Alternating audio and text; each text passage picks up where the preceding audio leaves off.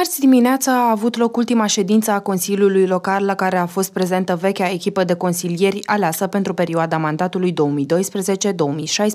La această întrunire s-au discutat și votat două proiecte. Primul privind aprobarea încheierii unui contract de sponsorizare și al doilea referitor la neexercitarea dreptului de preemțiune privind cumpărarea unui imobil. Ambele proiecte au trecut de votul consilierilor. Prin încheierea contractului de sponsorizare, administrația locală va intra în posesia unui teren oferit de o societate privată, destinat construirii unui nou sens giratoriu la intersecțiile drumului național 2 E85 cu strada Plopilor. Acest teren reprezintă ultima piesă de puzzle pentru întregirea viitorului șantier. În ultimii doi ani s-a tot vorbit despre posibilitatea construirii acestui obiectiv în zonă, însă o serie de litigii cu primăria localității Cordun au întârziat atât întocmirea documentelor necesare, cât și demararea lucrărilor.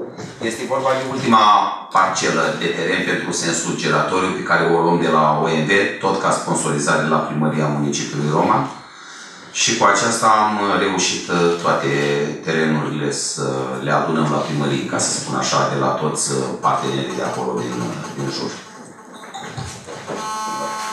Dacă nu sunt discuții, întrebări, supunem la vot. Cine este pentru? Dacă termenii sponsorizării nu vor fi respectați, sponsorul va avea dreptul de a rezilia contractul fără intervenția instanței. Teoretic, dacă termenii din contract sunt respectați, în viitorul apropiat vom avea sens giratoriu în zona respectivă, cunoscută de șoferi ca fiind una foarte riscantă, unde frecvent au loc evenimente rutiere neplăcute.